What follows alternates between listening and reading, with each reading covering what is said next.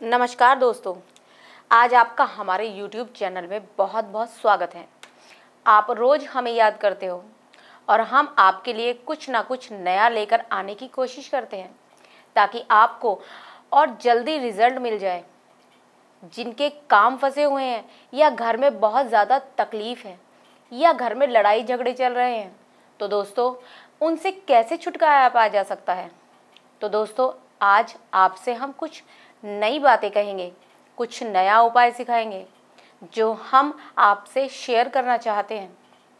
अक्सर आपने ये सुना होगा कि कोई चीज़ को बांटने से कोई बढ़ती है तो हम आपको वशीकरण की विधि बताते हैं, क्योंकि हम चाहते हैं कि आपके घर में भी सुख शांति हो और आपका भी कोई रूठा हुआ मान जाए। तो आज हम वशीकरण की आपको बहुत ही आसान विधि बताएँगे। ताकि कोई इंसान या व्यक्ति आपसे रूठा हुआ ना रहे। दोस्तों, क्या आपको पता है कि कपूर से भी किया जा सकता है वशीकरण?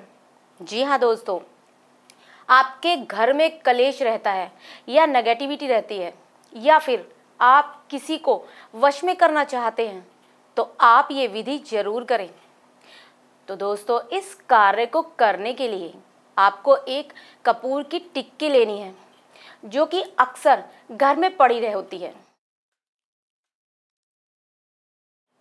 या फिर आप मार्केट से लेकर आ सकते हैं और उसे अपने हाथ में रखकर अब आपने 21 बार एक मंत्र का उच्चारण करना है और फिर उसके बाद आपने इसे घर पर किसी भी कटोरी के अंदर कपूर को जला दे। और यकीन मानिए इस टोटके के एक घंटे के अंदर वो इंसान आपके वश में हो जाएगा और आपकी सारी बातें मानने लगेगा। अगर आप भी चाहते हैं कि ऐसा हो कि वो आपके बस में हो जाए तो आप स्क्रीन पर दिए गए नंबर पर कॉल करें।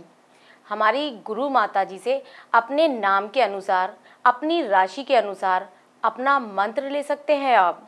दोस्तों, अगर आप किसी भी कारणवश ये कार्य करने में असमर्थ हैं तो आप ये कार्य गुरु माता जी से भी करवा सकते हैं।